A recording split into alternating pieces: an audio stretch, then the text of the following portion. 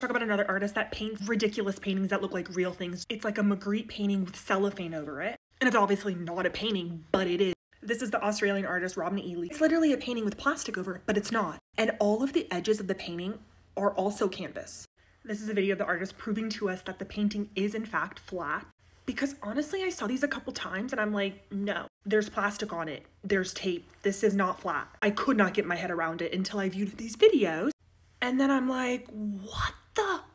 This is intense hyperrealism, which we've looked at before, but this may be my actual favorite because it's so unassuming. Seeing pictures of these, you're like, okay, it's a tied up canvas. We don't care. And then you come to the realization that it's a painting, a flat painting. And just like the sides of the canvases, normal canvas, it literally looks like plastic is out there. I'm not kidding. I had to look at multiple videos to actually believe that it's fake. So I'm gonna show you because this is, it's flat, it's flat.